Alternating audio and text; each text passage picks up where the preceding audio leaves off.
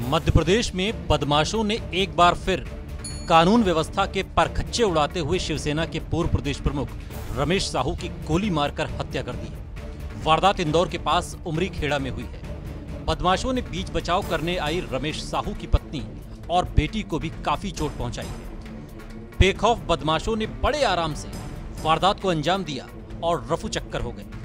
फ़िलहाल पुलिस अज्ञात बदमाशों की तलाश कर रही है। दरअसल रमेश साहू मध्य प्रदेश शिवसेना के 10 साल तक अध्यक्ष रहे हैं। इंदौर के उमरी खेड़ा में ही रमेश साहू साईं राम ढाबा चलाते थे।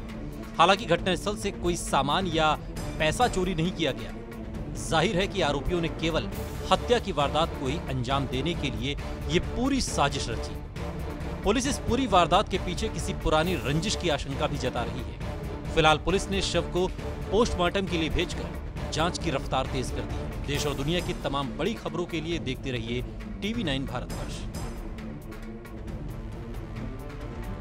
अड़ी सोमवार से शुक्रवार शाम छह बजे सिर्फ़ टीवी नाइन भारतवर्ष पर।